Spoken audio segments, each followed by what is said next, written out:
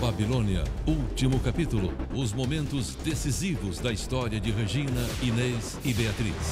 Você tá vivo?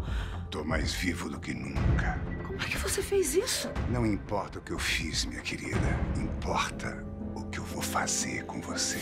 E a resposta para o grande mistério: quem matou Murilo? Mas a morte do Murilo vai ser esclarecida.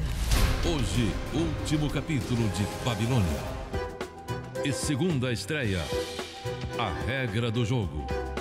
A nova novela das nove.